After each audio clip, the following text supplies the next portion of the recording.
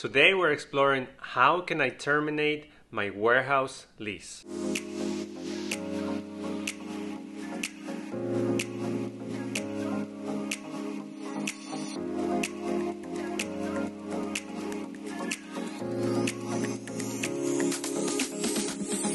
Hi everyone, Edison Vasquez at Combri. I hope everyone is doing well. Business is always changing. It's no exception for warehouse users. It could be that the business is growing fast and needs more warehouse space to expand, or there's excess warehouse that you're not using or don't need the entire space anymore. So, what are the options to terminate an existing warehouse lease? Here we explain.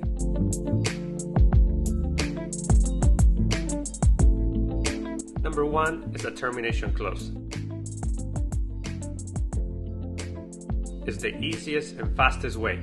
Look at your lease and see if there's a termination clause that was negotiated during the negotiations for the lease. That might be the easiest way to terminate a lease. We always suggest to tenants to negotiate a termination clause added into the lease. This might give you the flexibility to move or relocate during the term of the lease. If the termination clause is on the lease, then you can exercise it and notify the landlord according to the terms of the termination clause. Number two is discuss with the landlord a potential termination of the lease.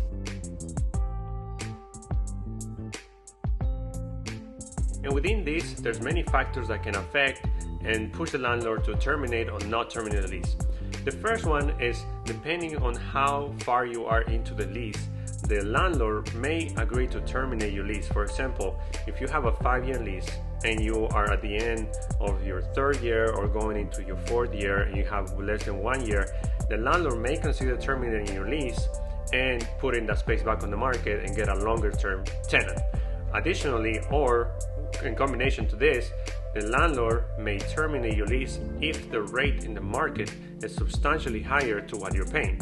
For example, if you are paying $5 per square foot now to your landlord and the rate in the market is 7, 8, 9 or even $10 per square foot, the landlord might benefit from terminating your lease and putting a new tenant at a higher rate and a longer term. In that case, the landlord may agree to terminate your lease with or without any penalties. A third option is to explore spaces within the landlord's portfolio.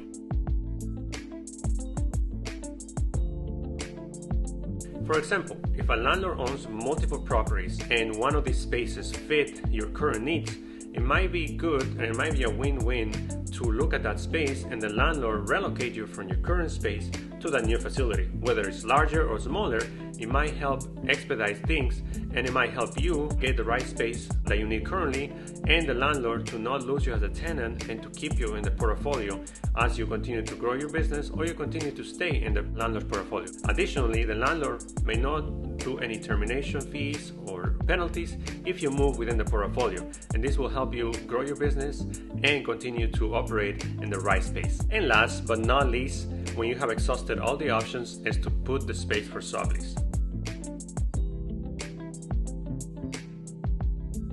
If you have talked to the landlord, have tried to do uh, negotiate a termination clause, and you're still looking to expand or downsize, then consider subleasing the space. When you sublease the space, you find another company that will sublease or take over your lease. The first step is to put the space in the market.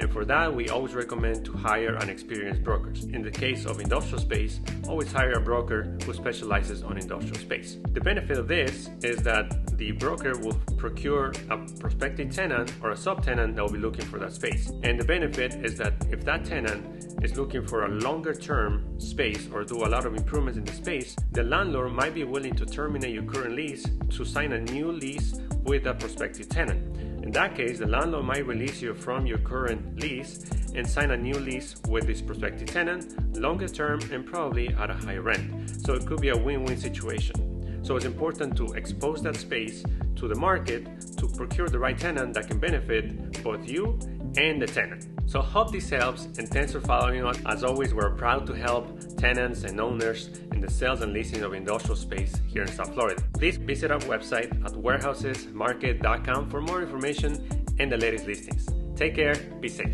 Thanks for watching and thanks for following us. Please subscribe to our YouTube channel. You can go to warehousestv.com to visit all of our videos on the library.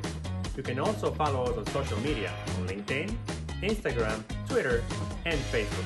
You can always visit our website at warehousesmarket.com for all information on industrial real estate and our properties.